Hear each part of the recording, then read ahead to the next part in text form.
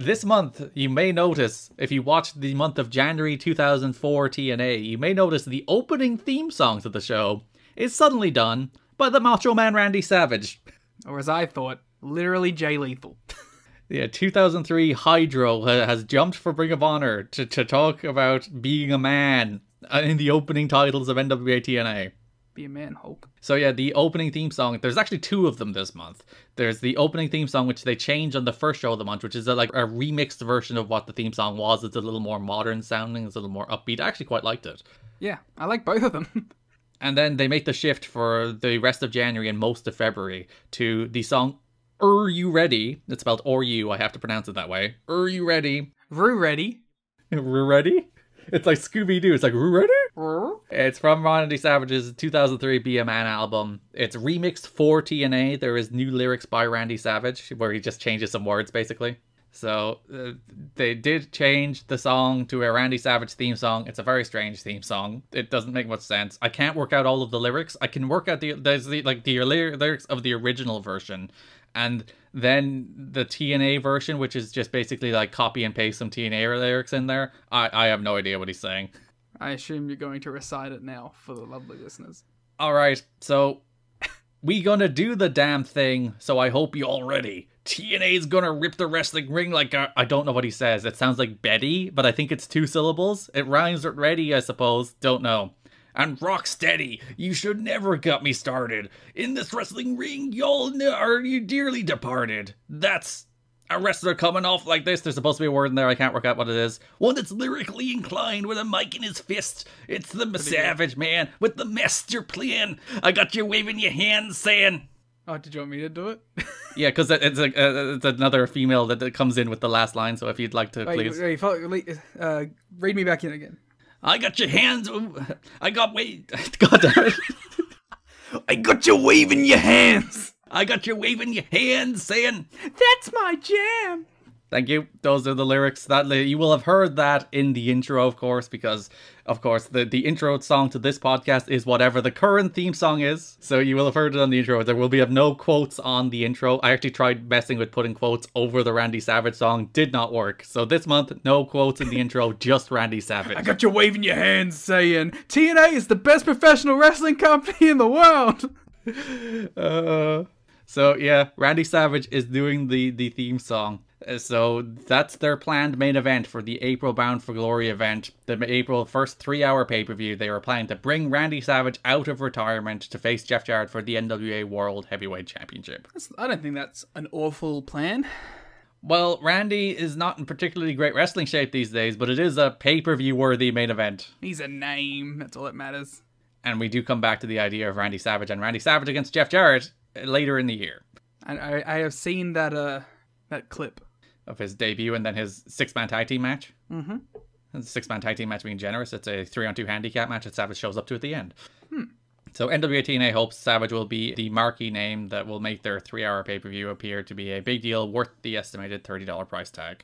And it must be noted, I don't believe at any stage they announced this publicly. I think this was just announced backstage. So at least they, they learned their lesson this time. They didn't announce another Hmm. pay per view they had to cancel. So the big note from Victory Road, the final point, the debut of the Macho Man Randy Savage strolls out at the end of the show, points at Hall Nash and Jarrett, and that's it. That's our hook for TV. But because it's TNA, Liam, you cannot have somebody like Randy Savage showing up without drama. I mean, I would be disappointed if there wasn't drama. So we talked extensively back in 03 about how TNA wanted to bring in Hulk Hogan, about how TNA wanted to build their first three hour Sunday pay per view around Hulk Hogan. That he was meant to wrestle Jeff Jarrett. They delayed that Bound for Glory three times before cancelling it because Hogan wasn't going to show up. Well, guess who showed up to Victory Road 04, Liam? Yeah. The Hulkster himself was just hanging around. Didn't want to come hang out? Didn't want to go shoot a segment? Oh, so Randy Savage made a surprise appearance at the end of TNA's Victory Road pay per view after negotiations with Sting fell through. They wanted a lot of people. Uh, they didn't get them all, but they wanted DDP for these shows too, but couldn't get him in time. He showed up on TV though. Savage was supposed to come in in what was supposed to be like the beginning of a main event run. Two days later, he cancelled his TV taping appearance, citing the involvement of Hulk Hogan in TNA as his reason. Hogan was invited to in- attend the TNA pay per view near his Florida home by TNA owner Bob Carter, father of TNA president Dixie Carter. When Hogan arrived, he bumped into Savage. Savage and Hogan have had a love hate relationship, which we documented on Patreon because we reviewed the Be a Man album. Be a man, Hulk. Great song, all time diss track. But they've had a love hate relationship over the years, mostly hate on Savage's side, since Hogan's wife Linda provided a safe haven for Savage's then wife Elizabeth when she was separated from him.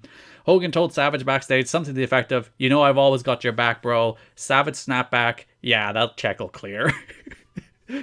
there was like reports that maybe they had a scuffle, but that doesn't seem to be the case. Uh, Savage walked away and avoided Hogan for the rest of the night. Hogan once again is like negotiating with TNA about potentially coming on board, but apparently there wasn't serious talks about him actually appearing on camera at uh, Victory Road. You think that he's such a glory hound that he'd just do it? Especially like this is a success story for the company, and all of a sudden Hulkster's there, you know, smelling like blood in the water. There's attention for me now, as opposed to these shitty asylum shows. Yeah. Savage, now 52, informed Jeff Jarrett late on Tuesday afternoon he wasn't going to attend that evening's taping as scheduled, saying he wouldn't work with TNA as they were working with Hogan. As of last word, TNA had apparently soothed over the problem with Savage and expected him to return to TV the following week. So you get the debut of the Macho Man. You get what is like legitimately like a great moment to end the pay per view on. A big like hook that the Macho Man Randy Savage, one of the biggest stars in professional wrestling of the 20 years prior, has debuted even though he's 52 and not looking quite like the Macho Man anymore. It looks like Jeff Jarrett Last Outlaw. He does. He. That's where clearly Jarrett got the look from. He also looks like Bonesaw from the Spider-Man films. Striking resemblance. If he uh wrestled, he should have worn the bone saw. He should have done the Bonesaw's really catchphrase His classic catchphrase. that everybody knows and loves from Sam Raimi's Spider-Man. That's uh everyone's favorite Randy Savage line. It's still it's a Randy Savage, big star, and, and in typical TNA fashion, it blows up in their face because fucking Hulk Hogan finally decided to show up. They should have just not invited Hulk. They should have moved on. Well, especially when you get Savage, it's like Savage agrees to appear, like not just show up, not just hang around backstage. He agrees to be part of the product in a main event push, Seems to be into it. and like that's your program moving forward. Savage and Jarrett, for as good as that's worth, and you blow it up in hmm. his face immediately by inviting him in. Like he claims he felt double crossed. The TNA was an unsafe work environment. There was also some like thought that he was looking for an out. That he agreed to do the one-off payday for I think was twenty five grand was the number reported for the. and all he does is walk out for forty seconds. He- And also, it's not like he's selling pay per views. They didn't promote it. yeah, it was a surprise. So I guess the idea is to come back the next month with the big Savage match to hook everybody, which is it's probably not the worst idea. Well, then sign him to a two appearance deal at minimum. Well, that's classic TNA because they do the same thing with DDP. DDP's first appearance is also without a deal. Great. There's also a bunch of hand wringing this month about them starting to mention Hall and Nash on TV, also before they had actually put pen to paper. Yeah, well, worked out. That worked out fine, but this company learns absolutely nothing. so yeah, so some thought Savage was like taking the payday and then looking for an excuse to back away. Something he did do with the, the World Wrestling All Stars, a, a cursed company that we may be talking about more towards Christmas with our friends Yeah, over yeah. in Days of Thunder. But it's our own fault for putting him on TV without a contract. I was gonna say it's our own fault for getting involved with Days of Thunder. Oh, it is. They th- them throwing slander my way on their recent episode. Uh, clearly, I, I shall use my platform here to retaliate and not plug a Quick, largemanappears.com. uh, make a, a horrific rumor about one of them. Dave likes Elon Musk. That's the best I can come up with. Which is a horrific rumor in its own right. Is a notorious royalist. Oh, that will hurt Dave personally. Yeah. uh, I, you know what I heard? oh, go on. Garrett, well, I heard that Dave was at Queen Lizzie's funeral and was one of those. Uh, I was hanging out with one of those Tories in like his button-up shirt, and they were, and he was crying on camera. He was one of those who stood in line for like 27 hours just to see her in, in rest. Yeah, I heard Dave had uh, protected tweets where he was going after anyone for, that was making light of Queen Lizzie's death. oh, the Christmas episode's going to be fun this year. Depends if they hear this. Uh, observers say there were no serious talks about having Hogan appear on camera at the pay per view, despite internet reports to the contrary. Hogan spent some time talking with TNA owners Dixie and Bob Carter, whom witnesses describe as marking out for Hogan. They were marking out all show too. Oh, yeah, because you could see them. They were what third row in the actual stand. So you have the pit, and then you have the stand in front of it. They were like third row. If you watch the spot where Abyss is power bombed to thumbtacks for the first time in TNA history in the Monsters Ball, there's actually a reaction shot of Dixie in there. Fair play to the the cameraman who got that shot. She was very concerned. It's actually very funny to think about, like, that was an era where no one really knew what Dixie looked like. Well, we only picked up on it because we know now. Yeah, so she wasn't a television character, obviously, at that stage. She was long from being a television character, five years away. But also, she just wasn't like a particularly visible public figure. So she could probably sit in the crowd. I'd imagine some people would be like, you know, that's that's the owner of the company. But it's not like a thing that like she couldn't do that in 2010 without drawing serious attention. She'd sit in like the front row in those days on the opposite side of the hard camera, as opposed to like being literally in the crowd on the hard camera side. Mm, fun little Easter egg. Hogan arrived at the pay per view in a decked out Mercedes that impressed nearly everybody. He rode to the pay per view with Brian Knobbs. Savage, on the other hand, arrived with Brian Adams of KroniK. Battle of the Brian Entourage. What is this motherfucker's deal with trying to get Brian Knobbs into this goddamn company? Into every company he's ever worked. In fairness, there's one thing you can say about Hogan. He's loyal to his guys, even if his guys are fucking dog shit. He's loyal to his guys until he's not. Uh, he's loyal to Eric and and frickin' Brutus Beefcake and Brian Knobbs. Yeah.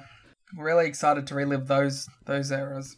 We'll have more drama with Savage coming up going into Turning Point, so you can look forward to that next month. But he, he does come back, so there's that. It would be a lot funnier if he walked out at the end of your big first three hour pay per view. Your big moment is Randy Savage is here, and then he's never seen again. I'd be down for it. Which would be the ultimate tribute to the Asylum era of people showing up and never being seen again.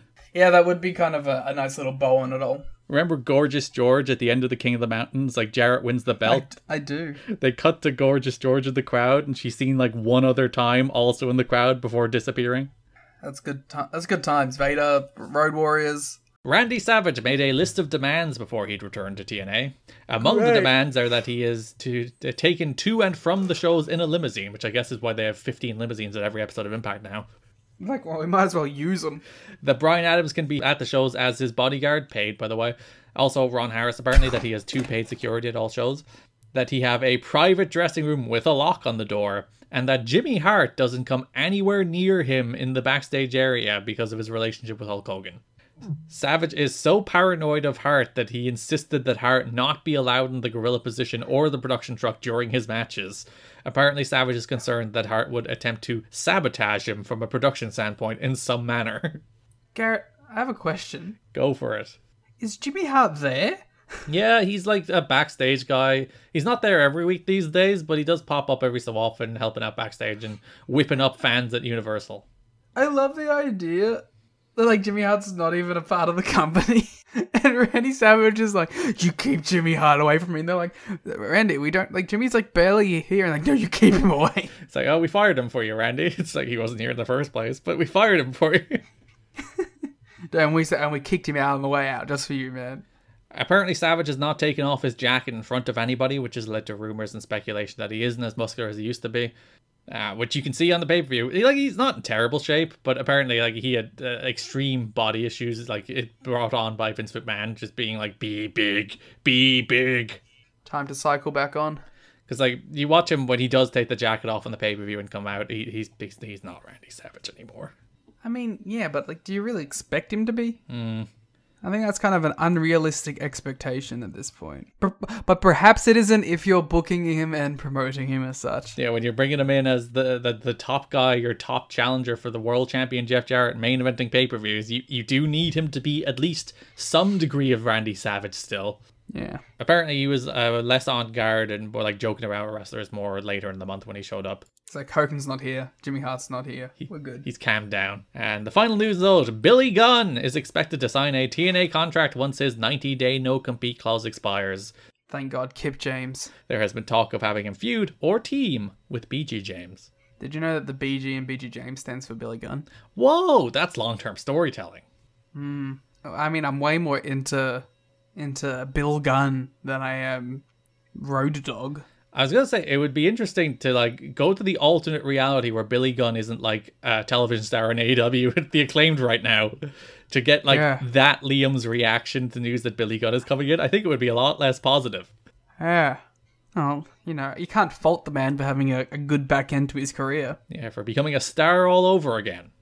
Like, I was never like a giant Billy Gunn fan. I think I always like appreciated him, but it is astonishing that he's like managed to be part of like a billion hot acts. Yeah, and especially this TNA one coming up. oh, the James Hickenbottom. Oh, I hope WWE demand to hand over that tape too, They should, they should, and then TNA should do it just to save us all from it. at the Alamo. Which brings us to Turning Point, in which the semi main event, not the main event, was Randy Savage, Jeff Hardy, and AJ Styles facing Scott Hall, Kevin Nash, and Jeff Jarrett. Earlier in the show, Savage did a promo with Scott Hudson, same thing, ooh yeah, dig it, before he was kidnapped. My favorite thing about the kidnapping segment is they don't show them actually shoving Savage into the car. It's all implication. They show them throwing Savage's hat into the car, slamming the door, and then the car drives off as Mike Tenay is like, Is that Savage? Did they kidnap Savage? Savage, just do the fucking angle. Jesus Christ. Mm. Jump in the car. Have a fucking. I don't know. That that strikes me. Like, they're paying you a shit ton. Just do the bit. You don't even have to wrestle on this show. Hey, he, he works very hard. So you do get the match. It ends up being a 3 on 2 handicap match for most of its 18 minute runtime. Oh my god, this match was so fucking long. this match was impossibly long and like irrationally long, some would suggest. Illegally long. This should not be. So they, they do the three on two. It's like it's technically fine. There's nothing wrong with it. It's not like halls falling over the place or anything, but there's there's very little good there until the very last minute, which is still not very good, but at least Randy Savage shows up. By the way, it must be noted, before we talk about Savage, It must be. that the Kings of Wrestling come out to the flying Elvis's music.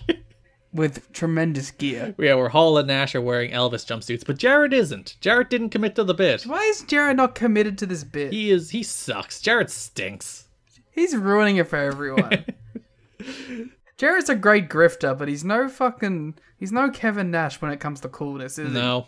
I suppose who is? He wishes he could get as much money for doing as little work as Big Kev did. Not wrong. If Ke- if Big Kev was running the the live event business for AEW right now, we'd all be talking different. Oh, then we'd be getting a bunch of Big Kev against Sting matches. Who would they team Big uh, Big Kev No, with? just put him in the Jarrett slot where he's with the old X Division guys, the Paparazzi Productions reunion. Oh my! Well, then you have to bring in Alex. Hmm. So Savage walks out, locks Jarrett in a sleeper as the other two lock the other two in a sleeper as well. Then Jarrett goes for a sunset flip. Savage punches him, sits down in the sunset flip, and pins the NWA World Champion. Hell yeah! They very clearly present this as the guy just pinned the champion. Shouldn't he get a title shot? Which was the plan, but Savage walked out. Yeah. Um. How would you feel about Randy Savage versus Jeff Jarrett? Based on what you see of the like 30 seconds of them interacting just on this show, I kind of would have liked to see it out of morbid intrigue. How well do you think it would have um done? Because they would have insisted on doing like a 15 minute match minimum. Oh, 100%. It might be good because Jarrett won't be able to pull his bullshit with Randy. But also, Randy can't do anything. Yeah, but Randy can probably walk and brawl with the best of them, so. It's true, they just go all over the entire impact zone. They brawl all the way to the asylum and back. So, just two days after pitting NWA World Champion Jeff Jarrett at Turning Point, Randy Savage walked out in the promotion. Savage showed up at Universal Studios in Orlando, but ended up having a three and a half hour meeting with Jerry Jarrett, then walked out without appearing on camera as scheduled. His future with the company is unknown, but at this point it appears he is at an impasse over either money or plans on how he wants to be used. He was scheduled to face Jarrett in the main event of TNA's Final Resolution January pay per view. The big rumor is basically that he insisted when he came in, he's not losing to Jeff Jarrett. He's not going to put over Jeff Jarrett. So that when then when they were like, we're going to put you in a pay per view main event against Jeff Jarrett, he's like, hey guys, what's the result of that match? That, I, that was my first thought, was like, there's no way in hell, like, if they do that match, that Randy wants to lose. yeah. So when it was became increasingly clear that they wanted him to lose, he's like, fuck it, peace out.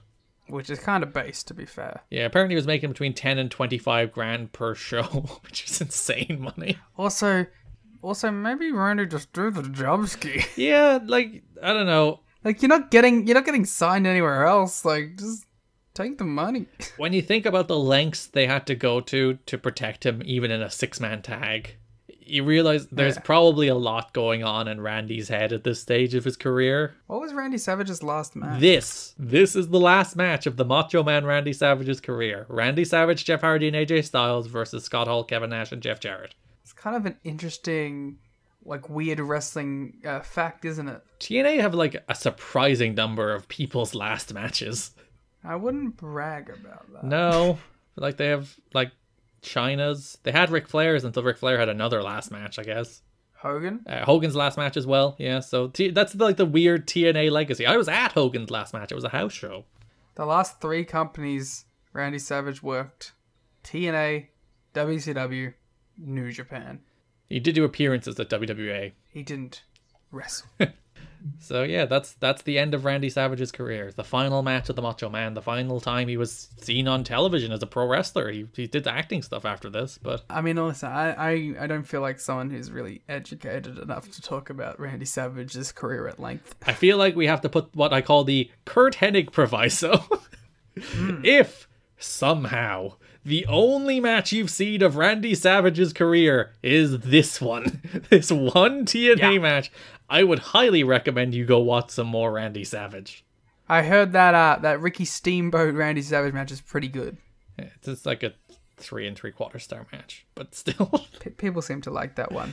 the the biggest disappointment, honestly, is like Savage's thing is his charisma. You know, he's one of the most iconic promos of all time. He doesn't even cut a promo. He all his promos are just like standard. See you at the pay per view, yeah.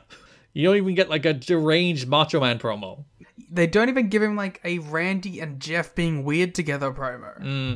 Of course, they never let Jeff Hardy talk in general, but you know. Or just like patting AJ on the head, being like, "Oh yeah, you're the future of the business." Oh my god, imagine AJ trying to keep up with Randy Savage and Jeff Hardy. There's like a funny moment on the best dams. I'm sorry to bring them up, where Fuck Chris you. Rose is trying to go like banter for banter with Roddy Piper.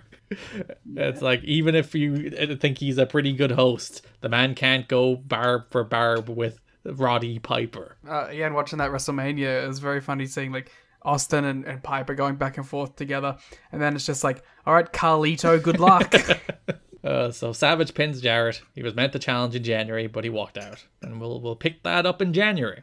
Don't worry, I'm sure they'll bounce back accordingly. So we have Abyss out of the pay per view for reasons, Garza out of the pay per view for reasons, and to follow up on last month, Randy Savage out of the pay per view for reasons. Yeah, but this one could be a positive. A few we've talked to, this is from the Wrestling Observer, shared the viewpoint on Savage we mentioned here, although it's more of a problem of how the company handled it, not any defense.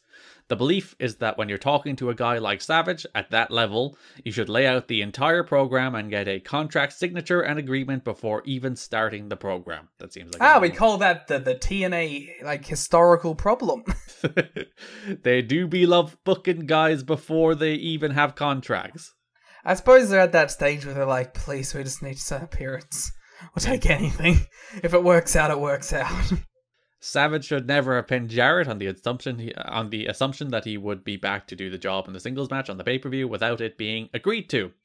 Another aspect not talked about is the long standing lack of trust stemming from one of the most bitter promotional wars in history between the Poffo family and Jerry Jarrett, even though they made peace when it was over and did business together, and in a sense it was Randy becoming a star in the Jarrett territory against Jerry Lawler that gave him the exposure that led to WWF having interest in him. So the Jarretts and the, the Savages don't get along inherently, and now they, they're just screwing each other over, over one more time on the way out. That's fun. Uh, Dusty Rhodes and Jerry Jarrett both talked to Savage for 15 minutes on the 7th of December to lay out the scenario of Savage losing at the pay per view, and Savage was like, nah, fuck that, I'm going home. That's fair enough. This all happened 15 to 20 minutes before the view started, which threw a monkey wrench into everything since Savage was booked all over the show. Oh no, 15 minutes. It's a raw situation throwing these shows together. Uh, one of the funniest lines came from Bobby Heenan when someone noted to him that the Poffos don't trust the Jarretts. Bobby Heenan responded, The Jarretts don't even trust the Jarretts. he's not wrong, and he's also the GOAT. Uh, Bobby Heenan, which you who you who you will be seeing in 2005. There was no clue as to who they would go with uh, in the main event at Last Word. At the tapings, the idea was to call Sting and try and use him as a stopgap, which they do kind of tease because Dusty Rhodes is like, You won't believe the name on this contract. It's a huge surprise. It's actually a way. they drop the idea that it's a huge surprise real quick, but they do promote it for a week that it's going to be a big surprise. It's going to shock the wrestling world. Should it have just been Dustin Rhodes. Ah, his son. That's nepotism, we call it. In the well, you know, regardless. So if you're wondering when, when in that week that they teased it was a big surprise, who were they looking for? The answer is always Sting in TNA history. It's like who are they looking for? It's Sting. They're always looking for Sting, but Sting apparently is not bothered at the moment. I mean, I think Sting, uh, uh, in comparison to everyone else in like a big title match like that, would have drawn better. Yeah, because Sting doesn't really have like the the sinking WCW stink on him, does he?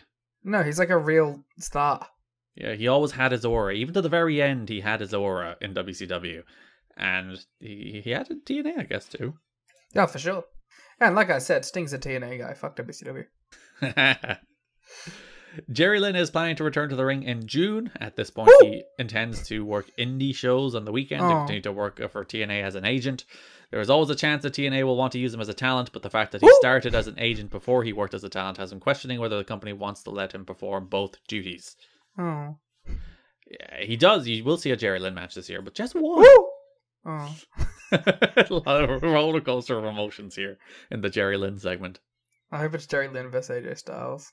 There is some more context in the Observer at one stage where uh, apparently Jerry is a little uh, hesitant to work with the, the modern X Division guys, partially because he's one of those old school guys who's like, make moves count. But also, I think there's a little bit of him who doesn't think he can keep up anymore after Hoovy killed him. Hmm. Alright, come on, Jerry. At them. Give names. Yeah, these, these, these young kids, they're working too fast for Jerry Lynn. Mm. I watched some Jerry Lynn stuff on a certain show today, Garrett. Oh no. uh, on, a, on a certain show that you'll be watching after this is done. Yes, uh, our next episode, which will be in your podcast feed around Christmas, will be the WWA crossover episode with Days of Thunder, our friends. Uh, which may, may not seem the case based on what they say on their shows, but they're pals of ours, huh? I mean, the powers of me for sure. well, yeah, me, maybe not. they called me a professional. Yeah, they just throw me under the bus. yeah. I mean, I think whoever started that really needs to take a, a, you know, a, just a long look at themselves and see how how words can affect people's online perception. They sure should. They sure Mm. should. But that'll be our next show, and then we'll be back in a month with the Against All Odds episode. But we will have Patreon stuff in between. If you like this show, you can subscribe for more Patreon content at patreon.com slash kidding me, tnachad.com. Yeah, hour one, hour one. I forgot to do it when, before we transitioned to the news, and I realized that when I went to plug the Days of Thunder episode. So here is the Patreon plug at the end of hour one.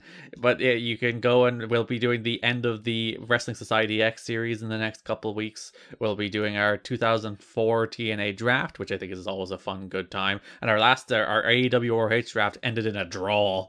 So Mm. we really need to fight on this one. Our 2004 end of year awards, which, as we mentioned, I think in the watch long is probably going to be the most difficult piece of audio we've ever done, coming up with some of those award winners. I'm, I'm gonna. I'm just still deciding if I want to like fly by the seat of my pants and just do it live, or if I want to actually think about it. Mm. You want the emotional reactions. There's something to like choosing on an emotional basis. Yeah, do I want to go off of vibes? But I also I like to like list like a three and then like have a runner up so we can talk about like who our thirds and stuff was. So Mm. who knows? So that'll look up in your podcast uh, in your Patreon feed over the next month or so before our God, we Against just All Odds we give out so much value for money. Yeah, and, and all the old shows are there. We have, I think, over 90 or 80 pieces of audio. I think it's 90 uh, pieces of exclusive audio. We have our entire Monday Night War series, if you haven't heard it, our entire Ring Ka King series, our entire Global Force Wrestling series, and our ongoing Rain Taker series, of which in the next month we will have the January 4, 2013 Wrestle Kingdom show. A very big, very good show. So we'll be having a review of that and Rain Takers coming up as well in the next few weeks. I'm sure that'll also be like a weird kind of like half de facto review of the the, the, the I was gonna say the real Wrestle Kingdom. It's like, oh my god, it's it's the women's World Cup all over again. Um, but we'll be able to talk about the the other one that is current happening con- concurrently, uh, which is a really big show as well. So maybe it's a little like weird mixed joint review thing. And that show will also have hooting and hollering, so I'll watch it. Yeah, hooting and hollering is back basically. So there you know, Gary will will finally be excited about Japanese wrestling again after three years. Actually, like four or five years because you weren't exactly hot on New Japan before the the clapping began. Yeah, I was like uh, ahead of the curve on the people who were uh, like uh, getting cold on New Japan, I guess, at the time. Some people have gone to the uh, really far extreme of that, but yeah, the clap grads have just no, I can't, I can't. Do I want to do this? Um, my favorite guy, right, yes. is the this this this current person who's like, oh, I'm gonna like tear down New Japan as if it's still like this hot 2016 thing that's like the biggest thing in wrestling. Mm. Like, I, there was a certain like contrarian thing to being like, aha, everyone's enjoying this thing in 2017. I'm gonna shit on it, right? But like, 20 people are watching it now. You're just punching down. Move on with your life. Like seriously, like go hate other the things that are popular. Go like shit on like Raw and SmackDown because people like them now. Go shit on Dynamite. Like go shit on stuff that people actually enjoy and are talking about. like New Japan has one good thing happen to them, or like one match that people are like, oh, that was pretty good, and like everyone just goes, oh, classic New Japan. Gotta let's start tearing them down. Lol, Kota Ibushi and Naito in the Hall of Fame. Like. That's so funny when it's like they, they, they don't do anything now. What do you want from them? The New Japan Defender has logged on. They don't even have crowds that make noise, and you're still punching down at them. Mm. Uh, it's just a, it's there are there are actual things that are worth like shitting on or like or at least uh, relevant.